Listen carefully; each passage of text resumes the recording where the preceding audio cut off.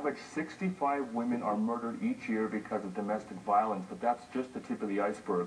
Violence affects all facets of society, regardless of race, age, or gender. Lonnie Elliott and Kelly Quewezance have a goal to help put an end to violence, and they're here today. Welcome to the News at Noon. So, I guess first of all, we have an upcoming rally. Tell us a little bit about that and when, when it is and where it is and why. Well, we're going to be hosting an anti-violence rally that's going to be taking place at Parkdale Park um, over by the Rainbow Youth Center. Yes, over by the Rainbow Youth Center on 4th Avenue, directly across. And this is the first time that you've had this type of rally? This is the first time that we've had this type of rally, but we would like to see it get bigger and bigger, and we want to do it on an annual basis. So we're hoping that this is just the start of something bigger. So why now? What, what do you think the need is out? There's always probably a need for some awareness, but what, why now?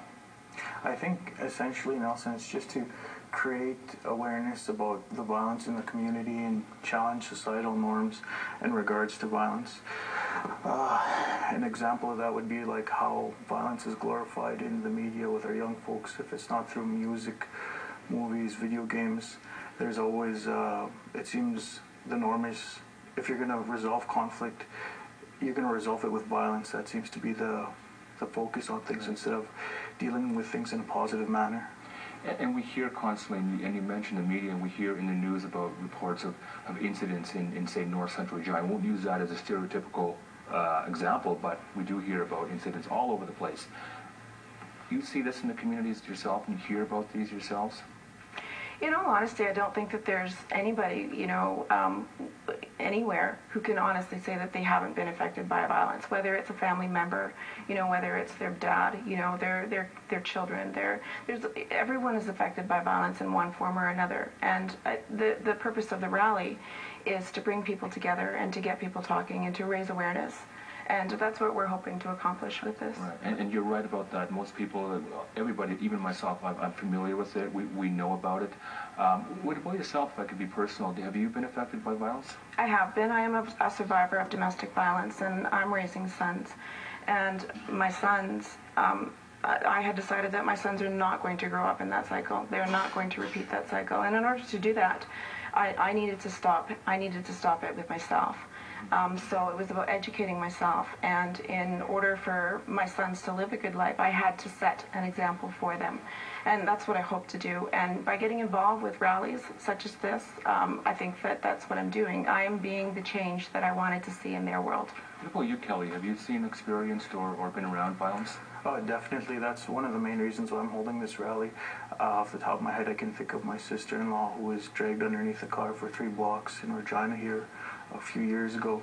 Uh, the young mother of two who was murdered in Saskatoon, Letitia Fleury. Mm-hmm. I was good friends with uh, her family, well, her sister and herself.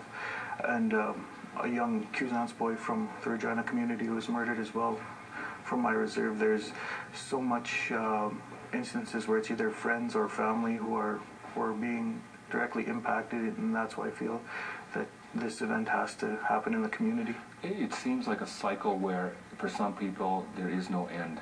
It's a dead end. You know, you're in this situation and there's no way out. What advice would you give to someone who may be in the situation that there is hope, there is a way out? You know, I, I remember feeling that way. I remember feeling that there was no way out. Um, but the thing is, you know what? There are resources out there. There are people that care. And it's simply a matter of reaching out and you know and deciding that we all have the power to stop violence. We do. And we need to take an active role in it.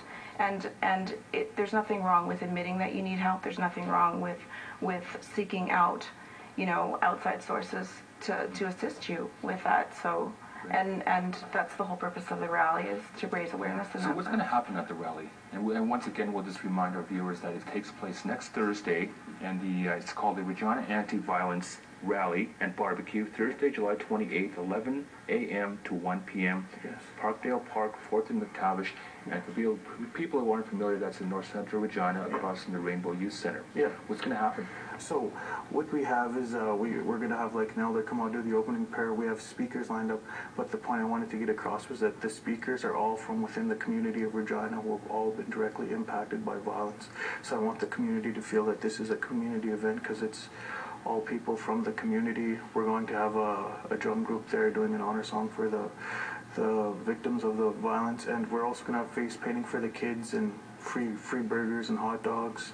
Good, good. Sounds like a, a good day for, for people and, and eye-opening. Mm-hmm. And a lot of people took part in, in making this happen. Is- Can you tell me about like who's involved and, and what's the, sure you want to Well, mention someone's name or people? For sure.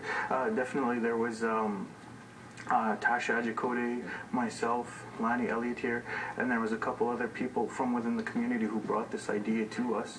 So we uh, decided to pick it up and thought it was an awesome cause.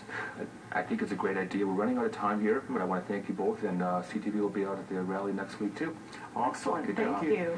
The news at noon will continue. You stop it.